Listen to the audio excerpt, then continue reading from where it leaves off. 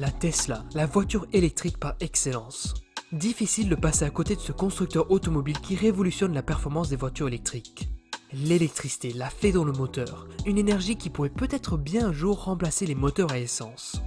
Mais pourquoi personne n'y a pensé avant? Pourquoi c'est seulement aujourd'hui, au début du 21e siècle, que l'on se penche sur l'idée des moteurs électriques? Mais attends une seconde, l'histoire ne serait-elle pas en train de se répéter?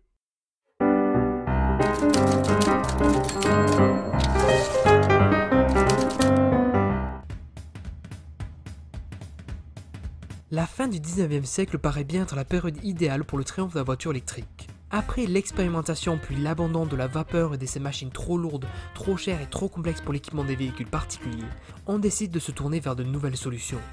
Dès 1881 dans la banlieue parisienne, on assiste déjà aux premiers essais de voitures roulant à l'électricité. Et on observe assez rapidement plusieurs avantages comme l'absence de bruit et d'odeur. On peut aussi dire que de leur côté, les moteurs à essence sont souvent négligés, car ils nécessitent beaucoup d'efforts et de temps au démarrage.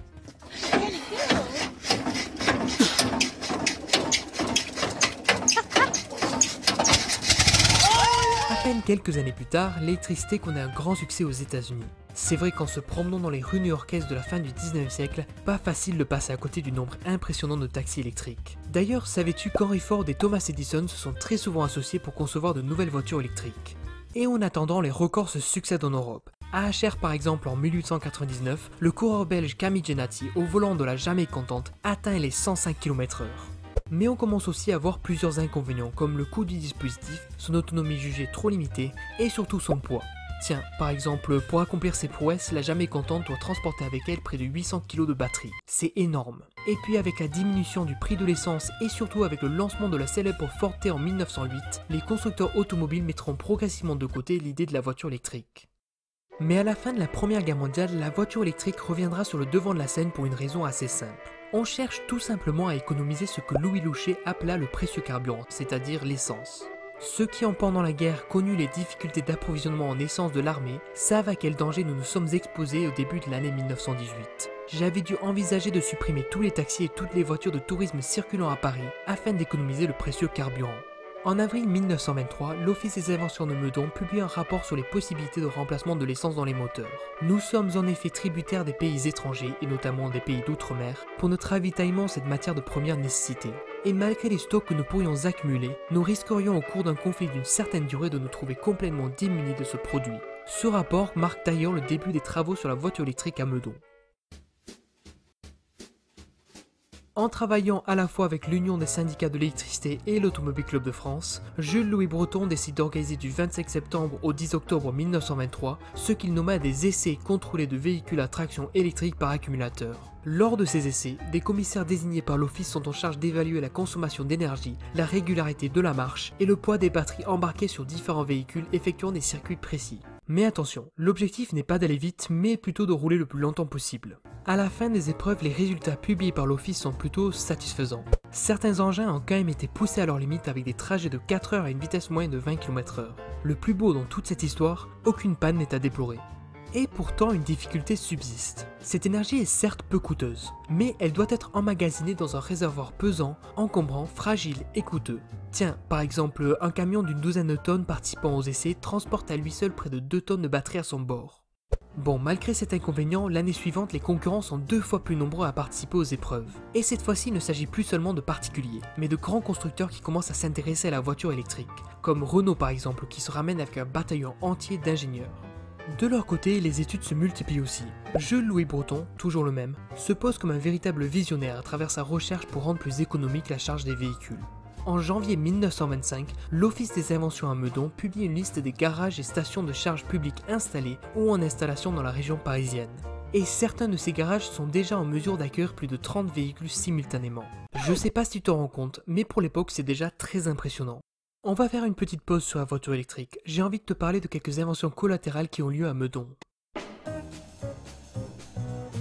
En fait, stimulés par tous ces succès, de nouvelles inventions voient le jour à Meudon, comme des chariots électriques mis au point pour le service intérieur des usines ou le transport des bagages dans les gares. On peut aussi évoquer le tracteur électrique sur rail.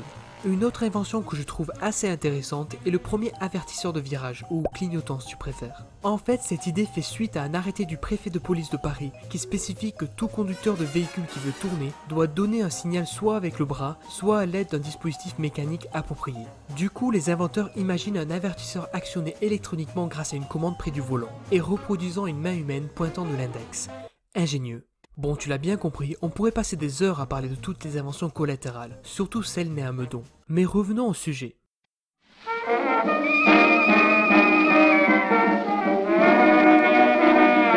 De nombreux facteurs viennent déjouer de l'avenir de la voiture électrique. Pour commencer, le moteur à explosion, ou si tu préfères à essence, enregistre d'année en année de nouveaux perfectionnements, alors que de son côté, le moteur électrique bute toujours sur la question des accumulateurs. C'est vrai, personne n'a envie de transporter une tonne de batterie avec soi dans son véhicule. Ensuite, on parle d'une époque où l'essence est abondante et bon marché, ce qui rend la concurrence difficile pour les véhicules électriques, souvent beaucoup plus chers. Et puis finalement, on peut évoquer l'inquiétude des consommateurs qui craignent de tomber en rade avec un moteur électrique, bien plus qu'avec une essence. D'ailleurs, cette barrière psychologique reste encore assez difficile à franchir aujourd'hui. Ah oui, il faut aussi savoir qu'à l'époque, la voiture électrique n'était pas estimée comme un véhicule assez viril. Voilà une petite vidéo de 68 pour nous expliquer tout ça. Pourquoi ça s'est arrêté? Il y avait plusieurs raisons, mais je crois que la principale, il faut faire appel à Freud. Euh, C'était pas viril. Le possesseur de voiture en 1900, c'est le même que celui qu'aujourd'hui une Ferrari, une Maserati, une Lamborghini. Alors une voiture, c'était viril, c'était pour se déplacer, c'était pour plaire.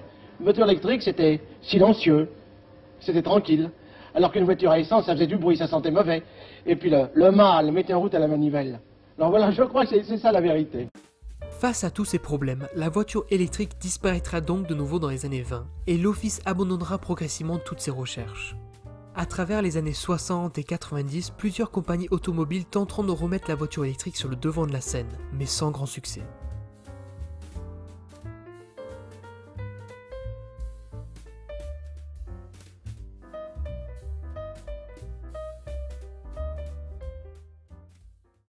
Voilà la fin de cette vidéo. Ça fait un moment que j'ai envie de parler de ce sujet. D'ailleurs, de nombreux sujets sur la question des véhicules et des moyens de transport à travers l'histoire me fascinent et pourront peut-être faire l'objet de prochaines vidéos. Si ces sujets t'intéressent aussi, n'hésite pas à me le dire dans les commentaires ou à lâcher un pouce bleu pour me faire savoir. Ah oui, dernière chose, je te conseille de lire Rêve de savant de l'historien Denis Gutleben. Je me suis beaucoup servi de son bouquin pour l'écriture de cette vidéo et on risque bien d'en reparler bientôt. Mais en attendant, je te dis à très bientôt pour de nouvelles histoires.